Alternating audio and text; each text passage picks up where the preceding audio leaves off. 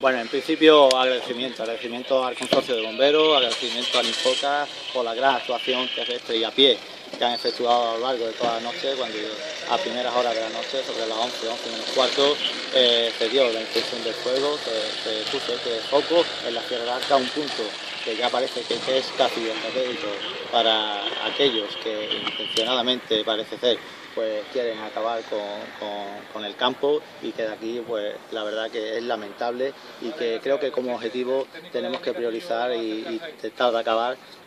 que seguramente tanto la alcaldesa de la línea y nosotros de San Roque vamos a poner todos los medios